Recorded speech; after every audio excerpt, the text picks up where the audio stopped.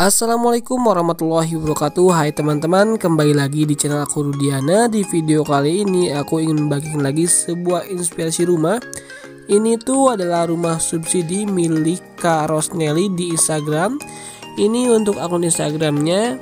Beliau juga memiliki YouTube dan ini adalah untuk link YouTube-nya untuk rumah ini e, adalah rumah di daerah Sumatera Barat. Mungkin akan banyak perbedaan dari segi e, ukuran ya. Kalau di sini terlihat lebih besar-besar, tapi kalau di Jawa mungkin kecil-kecil. Di sini untuk rumahnya itu tipenya aku kurang tahu. Nanti kalian bisa langsung tanya ke Kaneli di Instagram. Dan ini adalah untuk bagian taman. Sebenarnya ini belum terbangun dan seperti inilah untuk e, rumah sebelumnya dan disulap oleh Kaneli atau dirubah direnovasi menjadi seperti ini. Di sini untuk bagian halaman masih menggunakan e, koral jadi belum dikasih keramik tetapi udah dikasih tanaman atau taman e, minimalis. Dan ini adalah untuk tampilan dari depan. Seperti ini teman-teman. Untuk bagian jendela sendiri menggunakan tralis. Dan untuk pintu juga dikasih tralis juga nih agar lebih aman kalau misalnya punya anak kecil ya. Jadi si uh, pintu tetap bisa dibuka agar udara masuk tetapi tralis nanti tetap ditutup ya agar si anak tidak keluar. Di sini untuk warna rumahnya sendiri adalah warna putih dan juga hitam. Nanti kita juga akan masuk ke dalam teman-teman seperti apa rumahnya. Jadi sebelumnya rumah ini itu e, baru 75% ya. Kalau rumah subsidi zaman dulu memang tidak adanya pressure acian tetapi di sini udah karena dirubah dan menjadi lebih bagus lagi. Kalau aku lihat ke depannya ini tanahnya sepertinya di atas 2 meteran ya. 2 meter sampai 3 meteran untuk tanah di depannya. Dan untuk bagian karpot paling sekitar 5 meter kali 3 meteran So kira-kira untuk rumah ini bagian depannya kalian mau kasih nilai berapa nih teman? Kalau lihat dari uh, tampilan awal sebelum direnovasi dan setelah direnovasi tentu sangat berbeda jauh teman-teman. Jadi sekarang itu lebih cantik lagi ya dibandingkan uh, sebelumnya. Kita geser atau lihat bagian dalam teman-teman di sini di dekat pintu terlebih dahulu.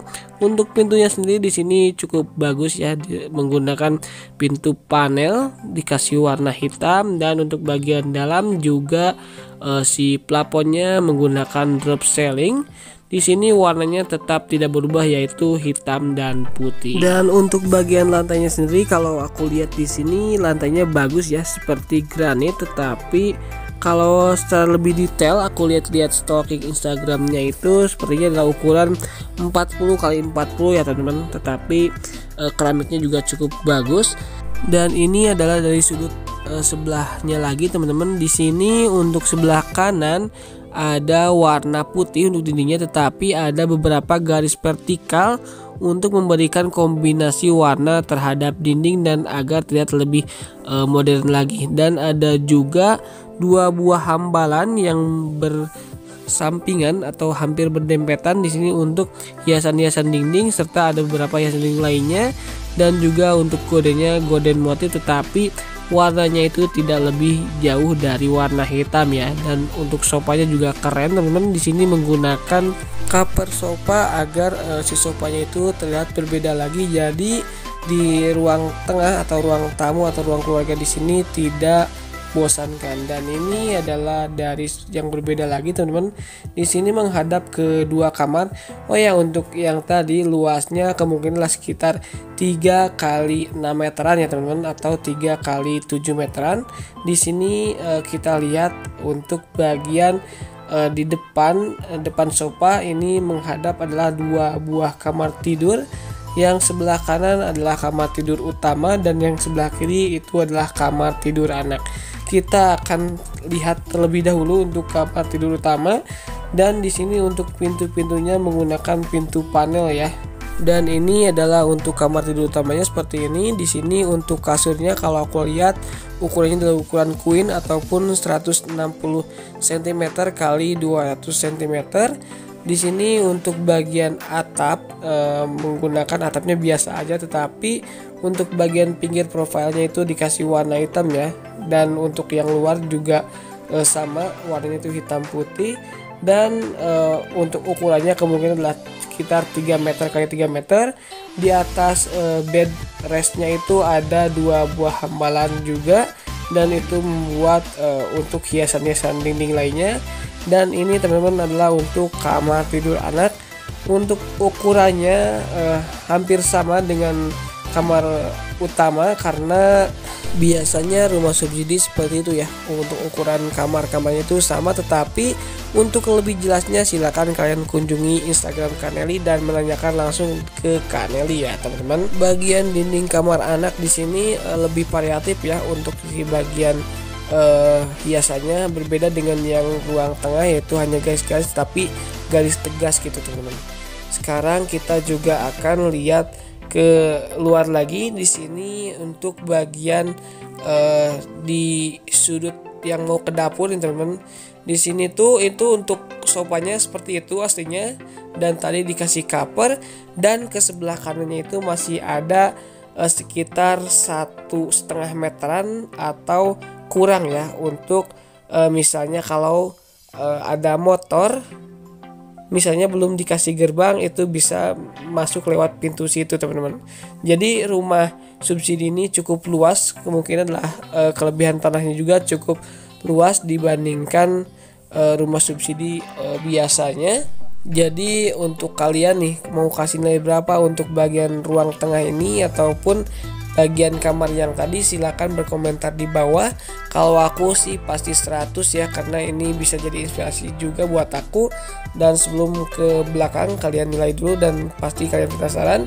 Dan ini adalah untuk bagian belakangnya ataupun bagian dapurnya yang sudah direnovasi ataupun dibangun seperti ini. Ini untuk belakangnya itu semi permanen ya. Jadi maksudnya semi permanen itu adalah untuk si bata naik setengah dan setengah lagi itu menggunakan papan GRC ataupun uh, triplek ya untuk menutupinya. Tetapi untuk bagian atas uh, tetap sama. Dan ini adalah untuk uh, di dekat kulkas ada tempat nyimpen-nyimpen piring dan juga ada seperti uh, kabinet untuk uh, kitchen set dan ini adalah sisa atau jendela yang ke belakang yang tertutup langsung oleh dapur. Dan ini adalah untuk bagian meja dapurnya teman-teman memanjang dan masih belum menggunakan uh, coran langsung karena mungkin ada beberapa syarat yang berbeda dengan yang ada di Jawa yang aku sendiri aja di Jawa biasanya itu memang ada aturan tidak boleh langsung uh, permanen ya. Melainkan semi permanen tetapi rata-rata dipermanenkan juga tidak masalah ya dan untuk bagian lantai bawahnya juga di sini belum menggunakan keramik melainkan menggunakan karpet bermotifkan kayu-kayu gitu ataupun misalnya e, kayak vinil-vinil gitu ya teman-teman. Dan ini adalah penampilan meja dari lebih detail lagi dari depan seperti ini. Di sini ada uh, seperti keramik lagi tetapi ini bukan keramik melainkan ini adalah wall stiker atau stiker yang ditempel di dinding. Dan ini ke sebelah kanan ada uh, meja makannya teman-teman. Jadi untuk dapur di sini cukup luas ya. Kemungkinan uh, luas ke belakang itu sekitar 3 kali 8 meteran. Jadi uh, cukup gede dan cukup cukup luas. Dan untuk bagian ke atasnya sendiri dindingnya di sini menggunakan wall stiker juga agar tidak membosankan. Dan kalau seperti ini menurut aku tidak terlihat seperti semi permanen ya teman-teman tapi seperti full permanen. Nah teman-teman mungkin untuk videonya hanya sampai sini. Mohon maaf sekali banyak kekurangan yang saya sampaikan tentang rumah ini. Untuk menanyakan info lebih lanjutnya dan lebih mendetailnya Silakan hubungi Instagram Kaneli Dan jangan lupa like, komen, dan subscribe channel ini agar semakin berkembang. Terima kasih. Assalamualaikum warahmatullahi wabarakatuh